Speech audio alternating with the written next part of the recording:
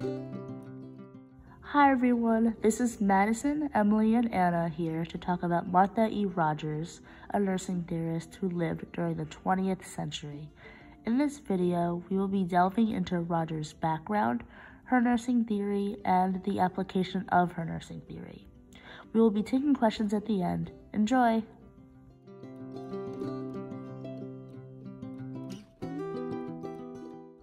Martha Elizabeth Rogers was born May 12, 1914 in Dallas, Texas, and died March 13, 1994 in Phoenix, Arizona. She was an American nurse, researcher, theorist, and author. She was never married and devoted her life to nursing.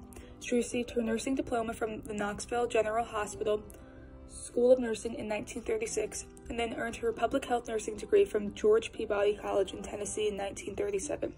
Her master, master's degree was from the Teachers College at Columbia University in 1945 and her doc doctorate in nursing was given to her from Johns Hopkins University in Baltimore in 1954. From the time from when she was small, she loved books and learning, and that love was encouraged by her parents. At the age of three, she was going to every story time at the library. She found kindergarten very exciting, and by the fourth grade, she had read every book in the school library. She was allowed to check out eight books at a time from the public library and through and went through the books shelf by shelf. By the age of 10, she knew the Greek alphabet, and by the sixth grade, she had read all 20 volumes of the Child's Book of Knowledge and had started reading the encyclopedia. When she was in her senior year of high school, she had taken all of the math courses that were offered and was taking college-level algebra course in which she was the only female in the class. While being a nursing professor at the New York University, Rogers developed the science of unitary human beings. Rogers wrote books that enriched the learning experiences and influenced the direction of nursing research for countless students. She wrote Educational Revolution in Nursing, Revival in Nursing, and an introduction to the theoretical basis of nursing, which introduced the four Rogerian principles of homeodynamics. Following her retirement in 1975, Rogers continued to teach at New York University and was a frequent presenter at scientific conferences throughout the world and consistently worked to refine her conceptual system. Rogers was also actively involved in, in professional nursing organizations and associations concerned with education and scholarship. She was honored with numerous awards and citations for her sustained contributions to nursing and science.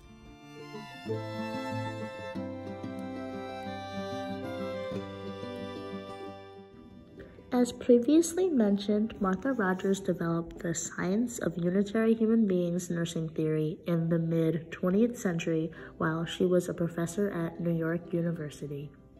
In this theory, Rogers emphasizes the equal importance of science of the science behind nursing and the relationship between the patient and their environment. Breaking it down, the science behind nursing is the combination of theories and practical concepts that nurses are taught to better the care and health of the patient, while the relationship between the patient and their environment is how the patient's habits, emotions, experiences, physical state, and emotional state affect the patient in that moment. Rogers emphasizes that one should take into account both these factors, the science of nursing and the relationship between the patient and their environment, in order to become a suitable nurse.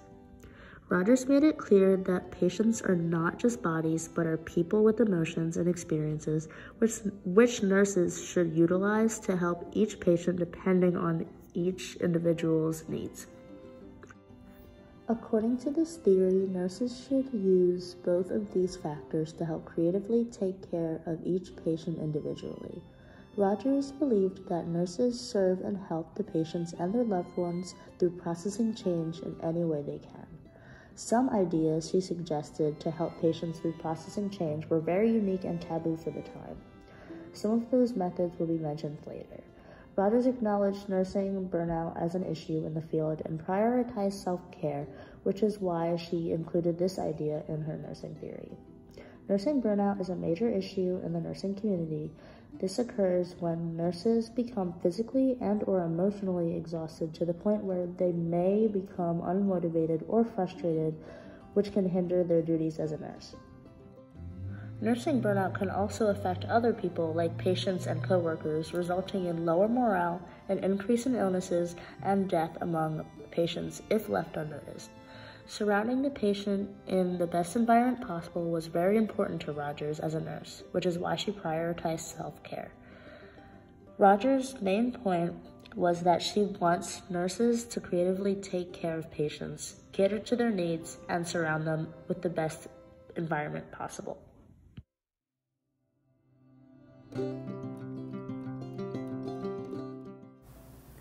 Martha Rogers' work had an important contribution to nursing in the way that her theory addresses the problem of nursing burnout and the idea that the patient's environment affects their physical, mental, psychological, and spiritual well being. Examples to apply her theory in both to both nurses and patients are for nurses, it's creating a safe environment by taking time off and doing stress reducing activities such as yoga, exercise, or meditation. Another example is going from full time to part time and participating and building relationships with the patients and empowering them. Consequences of not taking care of oneself can be detrimental to the patient's health in terms of safety and well being. As for patients, it's creating a well rounded evaluation and care plan that includes alternative therapies that focus on the human senses, such as meditation, guided imagery, th- guided imagery therapy, touch therapy, aromatherapy, and even color therapy.